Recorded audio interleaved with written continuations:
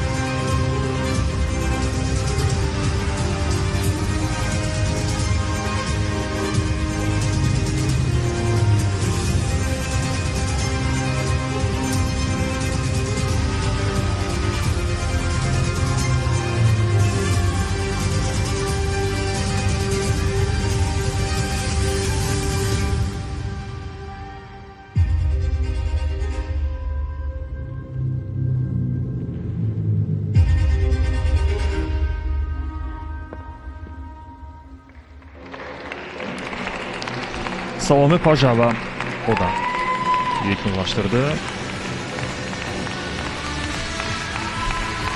O da təcrübəli gimnastlardan sayılır.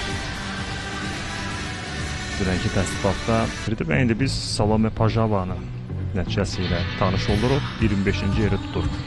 18.150 xal. Please welcome aşağı aldı. Hərəkətlərin Makedonia. Makedonya aşağı aldı. Növbədə isə Şimali Makedoniya təmsilçisi Rachel Stoyanovdur.